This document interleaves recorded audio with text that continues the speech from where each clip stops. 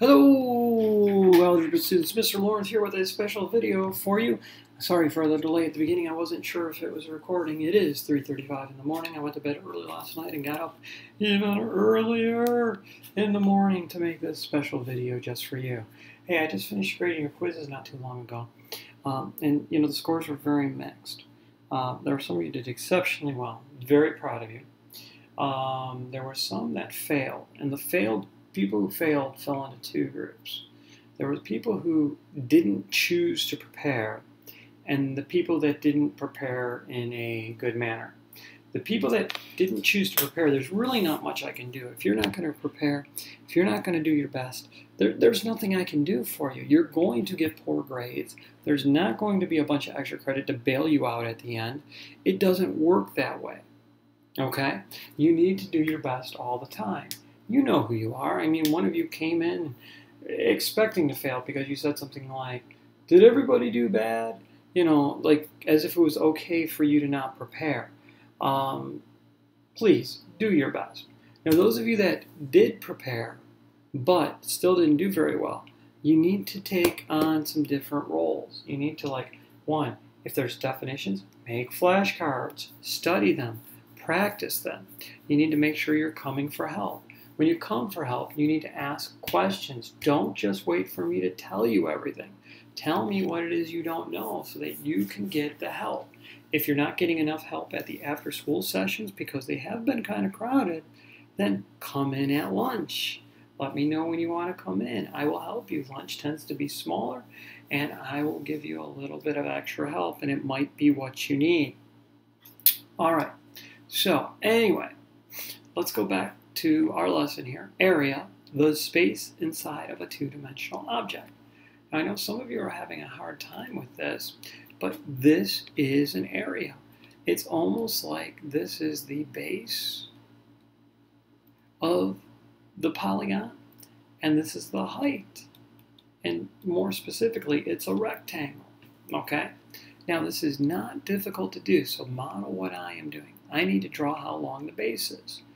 Well, I'm going to draw my base that long, but I'm going to break it up into two pieces. Why two pieces? Because there's an X and a Y. And so I'm going to put a little mark there. This is going to be the X piece of it. That's going to be the Y piece of it. Together, the length is X plus Y units long. This piece plus that piece. Now, I need to draw the other side, the height. And it's going to be an x plus 5. So I'm going to need a piece that's x units long. Oops, wrong one, sorry. There we go, that's what I wanted to do. And I'm going to put a little mark there. Why am I doing that? Because if it's x by x, it's going to be a square. And then I'm going to extend it 5 units. Now, what's 5 units? It's up to me. It doesn't really matter. I'm going to try to not make it the same as uh, the Y, okay, just for a visual. Now I'm going to complete my rectangle. I'm going to put the bottom here, close that, and then I need segments where I put those little marks. Okay, so there it is. Now all I'm going to do is find the area of each piece of the rectangle, each square or rectangle inside, and then I'll be able to add them together. So what's the area of this one? Well, x times x is x squared, right? Because 3 times 3 is 3 squared, or 3 to the second power, or 7 times 7 is 7 squared. So x times x is x squared.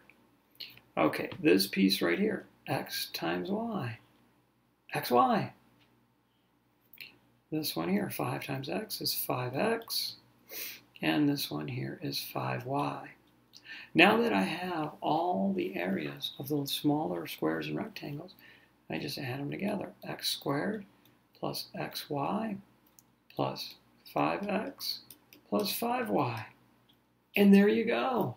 That is the product of multiplying x plus y, the quantity of x plus y, times the quantity of x plus 5.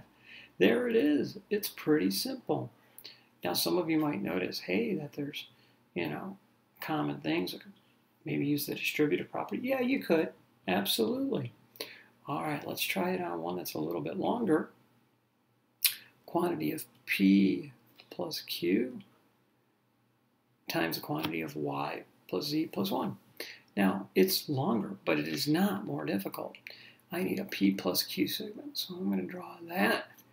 And I'm going to put a little mark here. And I'll make that the P segment, part of the segment, and that'll be the Q. So this segment is P plus Q units long.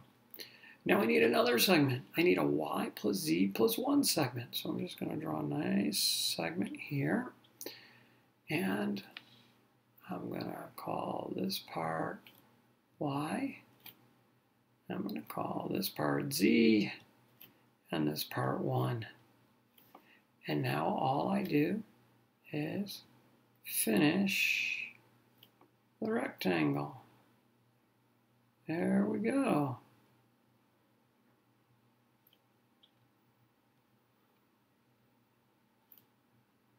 All right. So, let's find the area of each piece. Well, y times p, py. Now you might have said yp, and it wouldn't be wrong. We tend to write things alphabetically. It makes it a little bit easier. y times q, qy. p times z, pz. q times z, qz. p times 1, that's a hard one. q times 1, that's another difficult one.